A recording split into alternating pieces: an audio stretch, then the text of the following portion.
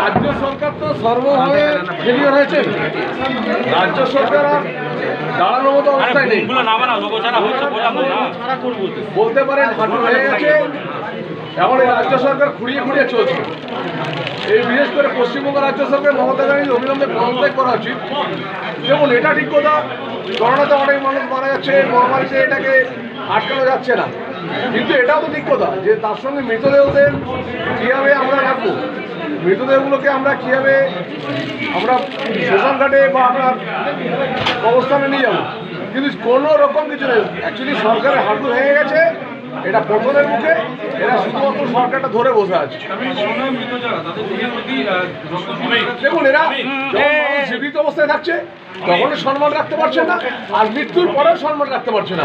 এরা মানুষকে জন্তু জানোয়ারের চেয়ে অধম ভাবছেন। জীবিত জীবিতকালীন অবস্থায় আমরা দেখছি আমপনে যেসব দক্ষিণ চব্বিশ উত্তর কিছু জায়গাগুলোতে সেখানে মানুষ আজও সেখানে জীবিত অবস্থাতে ওরা ভালো রাখছেন না আর মৃত অবস্থাতে তাদের কোনো ভালো রাখছেন না। একটা অপদার্থ সরকার। প্রত্যেক দিন প্রত্যেক দিনের হিসাব প্রতিযোগিতা ছাপিয়ে যাচ্ছে। এই অবস্থায় দাঁড়িয়ে লকডাউন খুলে নেওয়া মানে দেখুন একটা কথা হচ্ছে, এই করোনা মহামারীতে এই আবহাওয়া আপনার করোনাকে সঙ্গে নিয়ে আমাদের বেঁচে থাকতে হবে।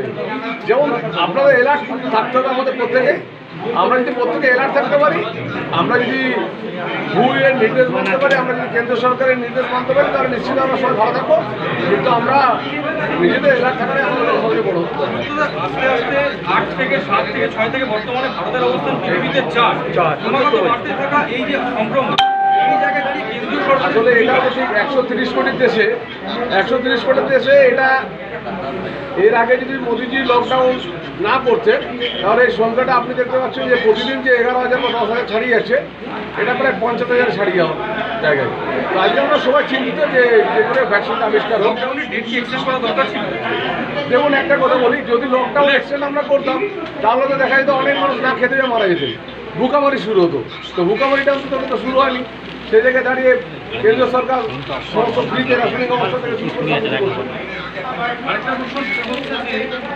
এই মুহূর্তে দাঁড়িয়ে বিরোধীদের যেটা বক্তব্য যে দেশে যখন করোনা আক্রান্তের সংখ্যা লাফিয়ে লাফিয়ে বাড়ছে প্রত্যেকদিন দশ হাজারের কাছাকাছি সংখ্যা হচ্ছে সেই জায়গায় দাঁড়িয়ে অমিত শাহ দলীয় কাজকর্মে ব্যস্ত হয়ে পড়ছে। এই বিষয়টা নিয়ে বিতর্ক ভোটের রাজনীতিতে ব্যস্ত হয়েছে মমতা ব্যানার্জি কানা খোড়ার মতন আমি বলতে চাই না যে এটা ভগবান তো তাদেরকে জন্মের সময় দেয় অনেকে বিকলাঙ্গ থাকে কিন্তু মমতা বিকল, বিকলাঙ্গের অবস্থার মতো একটা বিকলাঙ্গ নেত্রীর মতো অবস্থা দাঁড়িয়ে আছে।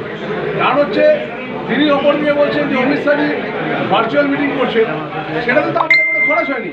অপরদিকে তার ভাইপো, তার হরিদাস ভাইপো আমরা দেখলাম যে আবার কোটি কোটি টাকা খরচা করে তিনি বলছেন যে এক লক্ষ যারা আমার ভলেন্টিয়ার হবে, পশ্চিমবাংলার যুব শক্তি মানে তাদেরকে আবার সে পাঁচ মাসের জন্য সাত হাজার টাকা করে বেতন দেওয়া হবে তা তিনি এত পয়সা পাচ্ছেন কোথা থেকে আমরা তো কোথাও পয়সা দেওয়ার কমিটমেন্ট করিনি আমরা বলেছি ভার্চুয়াল মিটিং এটা জনসম্পর্ক রাখার একটা কৌশল এটা থাকবে কিন্তু মমতা ব্যানার্জি বিকলাঙ্গ নেত্রীর মতো এগিয়ে যাচ্ছে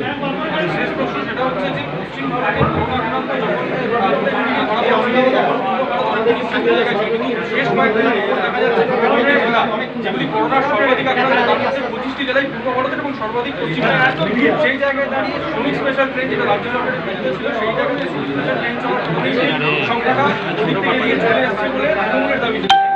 আপনার ঘরের ভাই বাইরে কাজ করতে যায়, সে তার বাড়িতে থাকতে পারবে না? আর করোনা যদি বলতে পারেন পশ্চিমবঙ্গে প্রথম করোনা এসেছে, তাহলে আমি বলি নবান্নতে এসেছে। নবান্নতে কোনো অফিসারের ছেলে করোনা নিয়ে এসছে। সেটা কোনো কথা নয়। যে করোনাতে নবান্নের থেকে প্রথম শুরু হয়েছে করোনা সূত্রপাত। প্রথম রুগী যদি করোনা ধরা যায়, তাহলে নবান্ন থেকে শুরু হয়েছে।